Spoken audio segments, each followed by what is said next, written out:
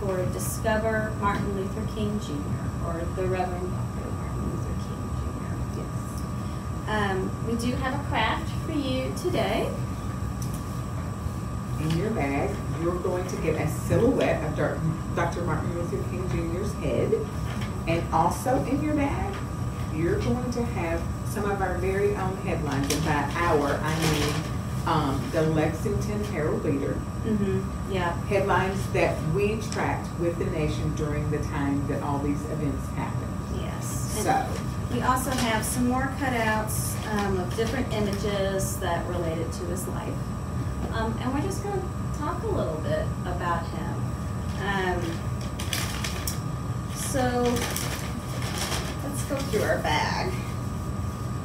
So uh, Martin Luther King was born in 1929. yes, January the 15th, 1929. And so um, we celebrate, uh, I think it's a federal holiday, It is. um, every January that's kind of falls near his birthday. One of the reasons why um, I, he's probably my hero is he was one of the main leaders of the civil rights movement in the 50s and 60s in this country. Um, and he advocated for nonviolent means of protest. So what does that mean? That means that he encouraged people who wanted to make change in the country to do so in a way that was peaceful and yet still visible. Yes. Um, so it was a very powerful way of, of almost confronting um, the racism that was in this country. That was going up, yes.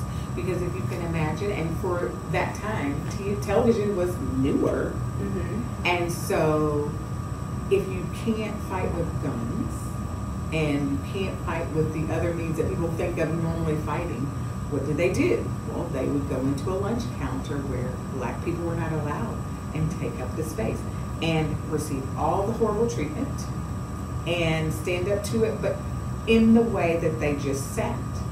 And we have an image, if you look through your, um, all of your uh, little different images that we've cut out, we have an image of lunch counters. I actually got to see that in uh, Washington D.C. And it is something. Well, I'm gonna add that to mine. And Yes. so that's what we're doing, is we're just looking through the images and adding things that are important to us. Right. Which ones speak the loudest or speak the most to you? And so, so kind of what we want to do today is just give you the who, what, when, where, and why of Martin Luther King. When? She already said that. 50s and 60s. And also where, and it was mainly in the South. He did, after he rose to more prominent positions, go outside of the South and took the message. And why? For- You know, he actually, he did come to Frankfort. Um, Yes. So there was, you know, a local protest that he was involved in. Yeah. Let me see if I have, ah, yes, I do. I have an image. Um, the headline says, estimated ten thousand integrationists demonstrate peaceably at Frankfort. So I am gonna put that on my, And just talking about the why, obviously equal rights goes without saying. And yes, this was mostly in protest of the horrible treatment of uh, blacks in the South. But what we don't realize is that a lot of other underserved populations and underserved communities have also benefited from the civil rights movement. So it's not just for black people. It was started because the treatment was so horrible for black people, but it has helped all of us to um, have better and more equitable uh, rights in our country. The best known speech by Martin Luther King was I Have a Dream, which he delivered on August 28, 1963, at the Lincoln Memorial in Washington, D.C. so probably most of you all are familiar with the I Have a Dream speech. Yes. Um, and so we have some quotes from it. Um, and there's one that I think speaks I have a dream that one day this nation will rise up and live out the true meaning of its creed. We hold these truths to be self evident that all men are created equal. And in that, they're they're meaning men as in humankind, not Not just men. not just guys. Yeah. So, are there any images that you really liked? So, I of the images that I saw, this one really just the Freedom Parade because I love that they have the flag. Because you know, I guess sometimes people think that when people have differing opinions, that means that they're not patriotic. In fact, I would say that is not the truth. People who have very differing opinions are showing just how much they love their country because they're fighting to try to make it better. So, I love that this is the American flag and it is standing for a freedom parade. This flag is also saying that this person was there for the I Had a That's awesome. The other thing that I did learn when we were like prepping for this uh, craft is that that was not the first time that he was in Washington uh, uh, at the Washington Monument to to give a speech. He, Oh, really? Yeah, he had been there, and his first one there was giving a speech about voting rights in 1957. So in the 50s, it kind of inspired and in coordination, I think, with uh, Rosa Parks. He helped um, lead a boycott against uh, the bus system in Montgomery, Alabama. Yes. Um, and so basically, this was a time, and I don't know if you all realize this, when um, people that were black were told that they had to sit into the back of the bus, and then people who were white were given the front seats. Uh, and so that was wrong. yes. And so we, what happened was um, many people led this together, but he was involved with protests against that, and they blockaded the bus. Before 1956, local laws in Montgomery, Alabama said that African American passengers sat in the back of the bus and white passengers sat in the front. If there were no more seats in the front, African American passengers had to give up their seats. In 1955, Rosa Parks refused to give up her seat to a white passenger, causing a bus boycott that lasted 381 days. The protest of the Montgomery, Alabama bus system led to a 1956 Supreme Court decision against the city's segregation laws on buses. They wanted to have a more organized way to produce the result. Because again, TV was newer at this time. And, you know, all these things were happening to black people on a regular basis. Lynching, the number one reason that drove people to want to have a civil rights movement was there were black people hanging from trees all over the South. It wasn't just happening in the South, but it was definitely without precedent and it was just the way it was in the South. People hanging from trees, you, I mean, you know, people being accused, black people being accused of doing things that they didn't do or talking back. You, you know, they weren't allowed to disagree with white people. They weren't allowed to have their own thoughts and speak them out loud. And if they did, sometimes that ended in death. And so you had just all of these pop-up events that were happening all over the South and really all over the country. And it just reached a fever pitch and produced this angst that was stop killing us basically. Mm-hmm. and so that brought about the need for this movement. Yeah. We and, and it pushed forward the humanity of black people as humans. Believe it or not, we have not always in this country recognized that black people were humans. And so it is because of the civil rights movement that now most of us would not ever have a thought that a black person is not a human. But there was a day when that was true in this country. Yeah. So, actually, um, Dr. King, he had already decided, or decided that using nonviolent protest, which is, by the way, does include violence. It just they, the people who are protesting, aren't the ones committing Using- it. Yes, they are not committing the violence. Um, it, it's a big risk to, to take that, um, to do that. But um, somebody who inspired Dr. King was um, Gandhi, Mahatma Gandhi.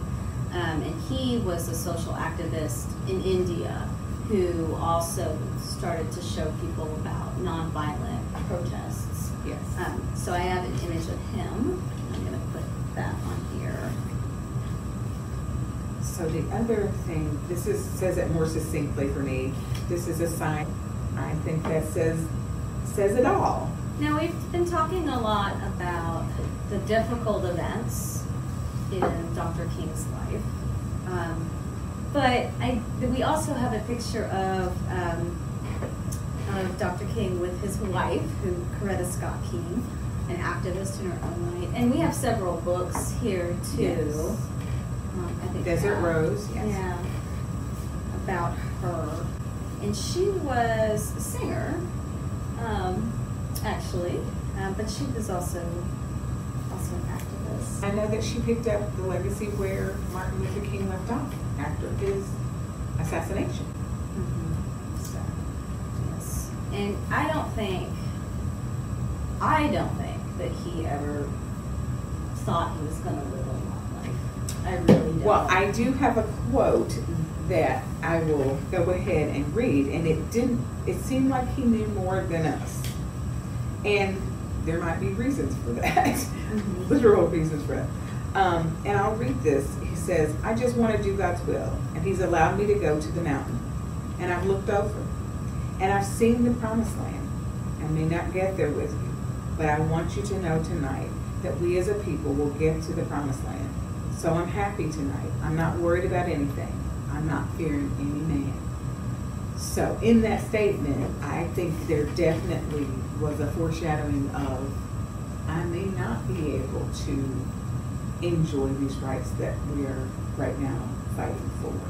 Yeah. So yes, uh, Martin Luther King, he was assassinated in 1968. Yes. Um, and that was in Memphis. I Yes, at the Lorraine um, Motel. the Lorraine Motel. Yeah. Um, so, and that was on April 4th. Um, that's not my happiest memory of, or, or Dr. Martin Luther King, but it is important. Um, and so we have a little sign about the mass memorial for him. Um, so I'm going to add that to my little thing. Were there any other images or quotes that stuck out for you? I'm gonna say, what, let me see. I love this one. We must learn to live together as brothers or perish together as fools. Um, this is another one. In the end, we will remember not the words of our enemies, but the silence of our friends. And so, for me, it's always important whenever we talk about the civil rights movement and any civil rights leader for us to understand that civil rights doesn't just affect black people or brown people or the, just um, you know people of color. It is the state of our world, all of us, black, brown, white, and Asian, anyone's culture who is not the majority culture in this country, mm-hmm. we are affected by civil rights. And you think about the movement for women to be mm-hmm. considered whole humans with all the rights. All of that was supplemented and forged ahead with civil rights. And I think as a, as a whole country, we, we lose when we are not giving our citizens access to equal treatment and, and access to resources that are important for everybody. Um, And so that's, I think of Dr. Martin Luther King not just as a hero for black people, just a hero, an American hero to me. That's how I think of him. And I think that's one reason we have that, the national holiday. Um, the first one was in 1986. So, fun fact we will end with. Most of you probably didn't know, but he was not born Martin Luther King Jr. He was born Michael. Yes. um, one thing I did want to mention, so you have your packet, and feel free to actually cut um, if you want to say add something of your own.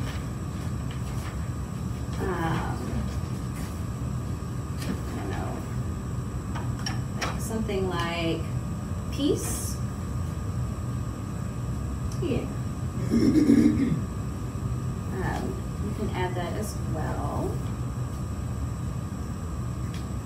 I know yours is really good. Mine is a little sparse. Yolanda's is sparse right now. That's okay. Going for the two. Yes, so this is what mine looks like. Um, And if you hold yours up, so like, you see how full hers is? If you lose any of the definition, you can go around with, you Oh, know, yeah, and bend it back around it so that you keep the, the silhouette of his face. Yeah. If you don't feel like you want to use all of your images on here, if you have a white, um, pencil, mhm. colored pencil, you can write things on there. And I did that, I just couldn't find it in time for our video. But it writes really well on here, so you can write the things, or write what you think about what we've talked about here today, what you think about civil rights, or what you think about, um, Martin Luther King's, uh, in, imprint on today is.